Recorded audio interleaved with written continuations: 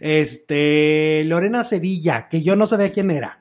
Perdónenme. Hermana de Carol, puede ser. No, No, pues quién sabe. Ay, perdonen mi ignorancia, pero resulta que esta actriz es de la telenovela Cabo y Sí. se encuentra en el ojo del huracán debido a que en redes sociales surgió una publicación en la que la acusaron, a- en la que acusaron también a su padre Alejandro Sevilla por supuesto fraude. En la publicación que presenta fotografías de la actriz que participa en la novela del Güero Castro y su padre se puede leer.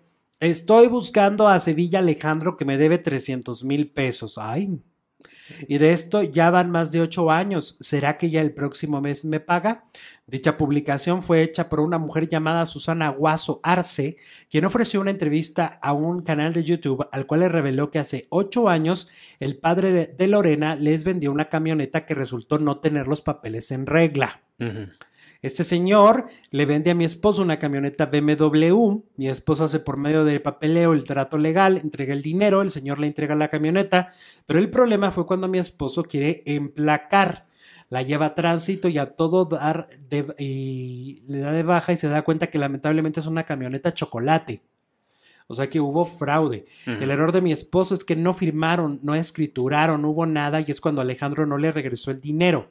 Quise ejercer un poco de presión social porque realmente es la única manera que creo que el papá pueda sentir un poco de presión, dijo esta mujer. Y entonces acusan a Lorena Sevilla, la etiquetan a esta actriz, pero la actriz pues hace como que no vio nada.